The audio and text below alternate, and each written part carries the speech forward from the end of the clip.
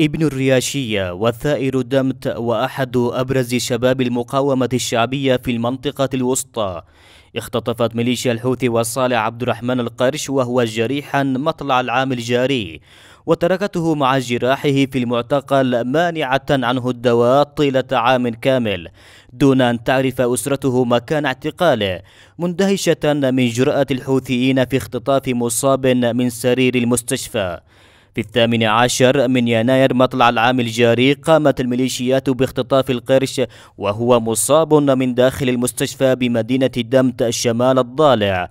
كان إلى جانب الشهيد القرش أثناء جريمة الاختطاف الجريح محمد الظاهري الذي خرج قبل أشهر عبر وساطة قبلية وهو في حالة موت سريري وقد تغيرت ملامح جسمه بفعل وحشية التعذيب الذي تعرض له هو الآخر على يد الحوثيين.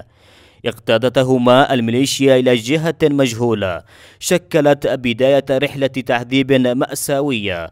أفرغت فيها عناصر الميليشيا كل مخزون التوحش والحقد الطائفي ولم تمنع عنه الدواء وحسب وإنما ظلت تمارس بحقه أبشع أساليب التعذيب الوحشي داخل المختطف وهي تحاول انتزاع اعتراف منه بالخضوع للحركة الحوثية في تسلطها. لكنها وما إن عجزت أمام كبرياء الشهيد ارتكبت آخر فصول جريمتها وقامت بتصفيته داخل المختطف. ظل الشهيد القرش مغيب عن أسرته في سجون الميليشيا عاما كاملا. يتعرض فيها لمتاعب الإخفاء وقيود السجان وألم الجراح. وتعيده الميليشيا بعد عام إلى أسرته جثة مشوهة.